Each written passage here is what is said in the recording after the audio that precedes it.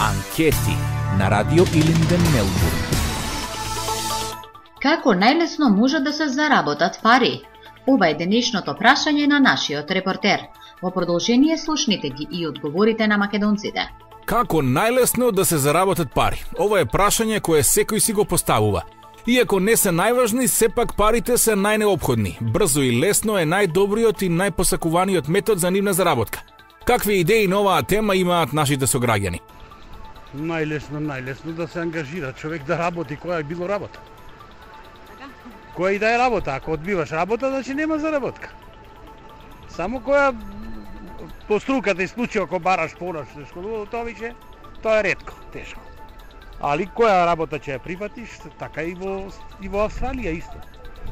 Таа што ти се понуди ако ја прифатиш, имаш пари, ако не, немаш пари. со памет.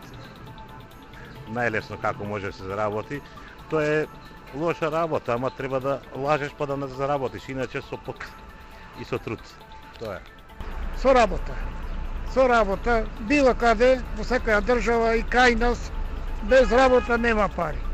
нема пари без работа, без душа.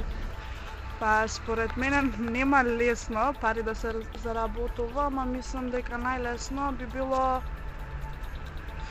па начин на кој начин не знам сега. Според мене мислам дека пари лесно не се не се заработува. Најлесно нема денеска најлесно. Денес со труд само. Да, било како вложен труд, носи некоја пара. А најлесно не знам дали има. Секој на свој начин го решава проблемот, но очигледно брзо и лесно заработување на многу пари е или многу стресно или пак многу опасно и најчесто невозможно. Неба дијала народот рекол, трпение е спасение. Па вие, како сакате?